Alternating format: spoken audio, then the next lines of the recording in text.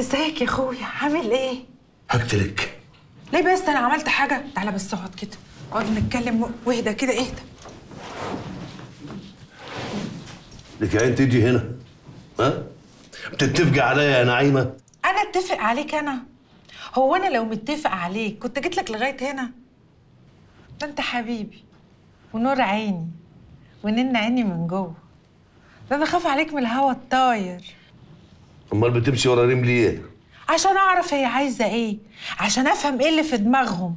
ولو كنت قلت لأ معرفش كان إيه اللي ممكن يحصل لنا. وأديك شايف أنت فين دلوقتي ومشرف فين. إحنا هنلف وندور على بعض يا بت. بقول لك إيه أنا مش عيلة صغيرة. أول ما عصام ده جاني فهمت على طول إن نيته كده نيه مش كويسة من ناحيتي. بس خفت أقول لك عشان أنت لو كنت عرفت كنت هتصور قتيل. بقول لك إيه؟ عادل ده هو الحوار كله. جالي لغاية البيت وقال لي إن أنت مش هتطلع من السجن يجي 20 سنة. كان لازم أسمع كلامه بس أنا مش هسيبك. عارفة لو طلعت من هنا عادل ده عمره هيبقى خلاص. خلص بالنسبة لي. وعصام مش هيقدر يحط رجله في البلد إلا بإذن مني. بقول لك إيه؟ أنا عاوزاك تهدى كده وتفكر بهداوة. بشويش كل حاجة هتعدي. وبعدين أنا عمري ما هسيبك بذمتك والنبي. أنت تفكر نعيمة تخونك؟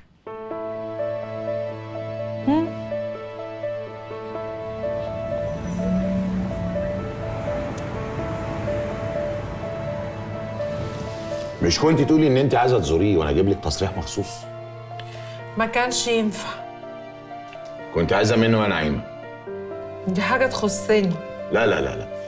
واضح إن انت مش واخدة بالك إن انت من النهارده تخصيني. يعني أي تصرف تعمليه يخصني. أي تحرك ليكي لازم أبقى عارف انت فين. ما تنسيش إن انت تخصي راجل شغال معانا وعزيز علينا قوي. يعني لازم أحافظ عليكي. فاهمة ولا مش فاهمة؟ طب اهدى بس. أنا هفهمك. هتعملي إيه؟ هتهمليها كده؟ دي ممكن تتعدم وأنت عايزاني أعمل لها إيه يعني؟ أروح أدافع عنها وأقول على حاجة ما عملتهاش وأنا عارفة إنها عملتها؟ طب قتل محرم وقلنا ماشي. إنما فريدة وابنها. هو سؤال واحد يا شهد. هتوقف في جار أمك ولا لا؟ محدش هيروح لها. هتفضل كده لحالها. انت ما تعرفيش السجن بيحصل فيه إيه. أمك ما هتتحملش. وبعدين انت بتحاسبيها على إيه؟ ما انت عملتي اللي أسخن منها. لا أنا ما عملتش زيها ولا حتى عملت زيك. أنا كل اللي عملته إن كنت بحاول آخد حقي. بالتزوير واللف والدوران؟ وكل كوم وجوازك من محرم. بس أنا ما قتلتش. شايفة إن في فرق؟ يعني تزوري وتغشي حاجة إنما تقتلي حاجة تانية؟ بقول لك إيه؟ هو أنا بتكلم معاكي ليه أنت؟ أنا في حكم الميتة. وانتي كان عندك استعداد تاخدي كل حاجة البيت والأرض. عشان عارفة إني ما هقدرش أتكلم وأقول إني عايشة. عشان حبل المشنقة مستنيني صح؟ روحي يا شهد وقفي جار أمك. ما تخليش جبرية وعيالها يشمتوا فينا. روحي روحي يا بنت عمتي.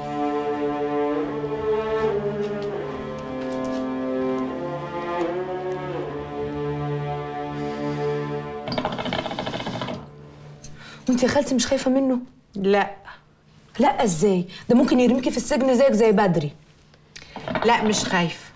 عارفة ليه يا بت عشان الراجل اللي مشغله أنا معششه في دماغه وعجباه يعني ما يقدرش يأذيني. يعني من الآخر كده أعمل اللي أنا عاوزاه. طب ما تخلصي من بدري ده. يعني هو أمل قوي. والنبي انت باينك بنت هبلة. ده الخوف كله من بدري مش من عادل. عارفة بدري ده لو أنا قلت له أنا عايزة أتطلق هيضربني 100 جزمه على دماغي وهطلع أنا الوحشة الغلطانة وأخري عنده طلقة طايشة تجيب أجلي ويرجعوا حبايب وصحاب زي ما كانوا. لكن أنا هنا بقى ملكه زماني أنا عارف إن أنت زعلان مني يا مروان. إزيك يا كبير؟ لو حطيت يدي في يدك هبقى عهد قعد على إيه بقى إن شاء الله؟ اللي أنا جاي عليه. بس عيب اللي أنت عملته ده يا مروان. ده أنت راجل سعيد يا أخي وعارف الواجب وبتفهم في الأصول المفروض. المفروض تحط إيدك في إيدي وتاخد واجبك وتقول البقين اللي أنت جاي تقولهم. واجب أنا عارفه. يمكن ذكائي خاني المرة دي. قول. مش هتعرف تشتغل من غيري. بعد تكون فاكر إن حسن هيدور الليلة زي ما كانت دايرة. تبقى غلطان. إحنا بتوع بعضينا. وبقالنا سنين بنشتغلوا سوا.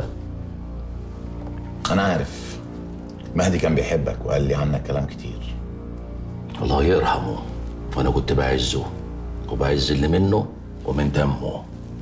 وعاك تكون فاكر إن أنا مش جايب آخرك يا ولد مهدي. أنا ما قتلتش أبوك. أي نعم كان في بينا عداوة.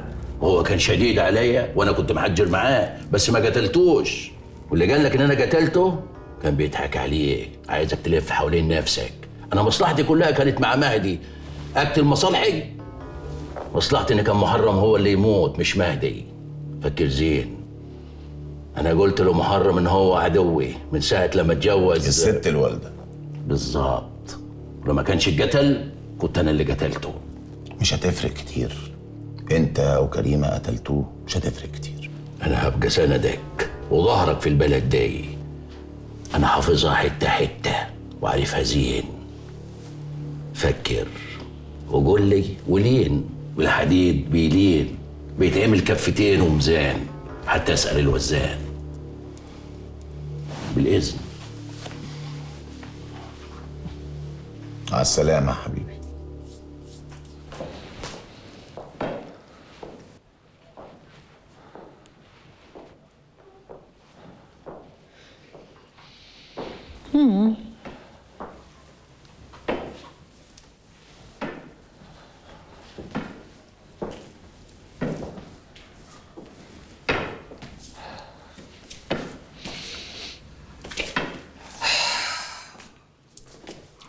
هقول لك على حاجة.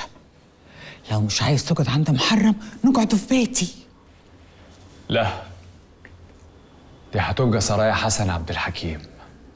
لا بيت جبرية ولا بيت محرم.